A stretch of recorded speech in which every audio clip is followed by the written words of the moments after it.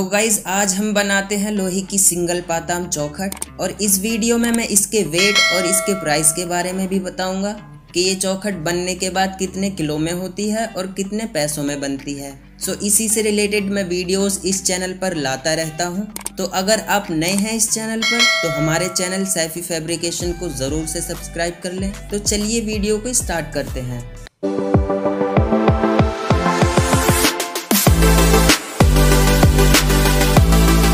Guys हमने इस चौखट की हाइट जो रखी है, वो है आठ फीट एंड इसकी चौड़ाई जो हमने रखी है, वो है चार फीट और हाइट एंड चौड़ाई के पीस हमने काट कर खांचे निकाल लिए हैं। तो चलिए अब इसको जोड़ते हैं।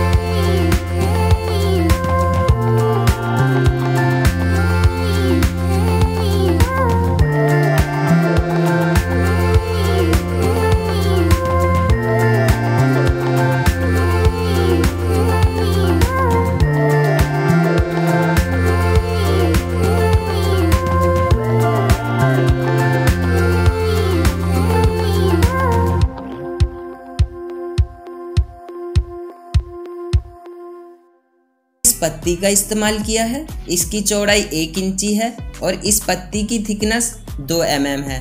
थिकनेस यानी इस पत्ती की मोटाई दो एम mm है और दो एम mm को चौदह गेज कहते हैं। और दूसरे मटेरियल का यूज़ जो हमने किया है, वो इस रॉड का किया है, जिसका साइज़ आधा इंची बाई आधा इंची है, यानी कि बारह एम एम बाई बारह एम एम है। तो हमने इस चौखट के ऊपर का जाल भी बना दिया है और ये चौखट बनने के बाद कुछ ऐसी लगती है, जो सेम लकड़ी की चौखट की तरह लगती है। तो अब मैं आपको इस चौखट के प्राइस और इसके वेट के बारे में बताऊँगा। प्राइस बताने से पहले मेरी आपसे एक रिक्वेस्ट है। अगर आप नए हैं इस चैनल पर सो प्लीज़ हमारे चैनल सैफी फैब्रिकेशन को ज़रूर से सब्सक्राइब कर लें और वीडियो को लाइक ज़रूर से कर दें।